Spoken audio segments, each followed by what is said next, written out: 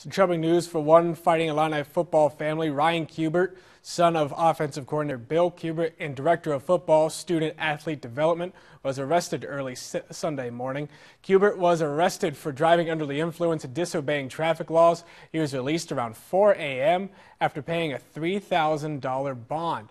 He is set to appear in court in November, and reports say University of Illinois administrative staff have no comment on the situation.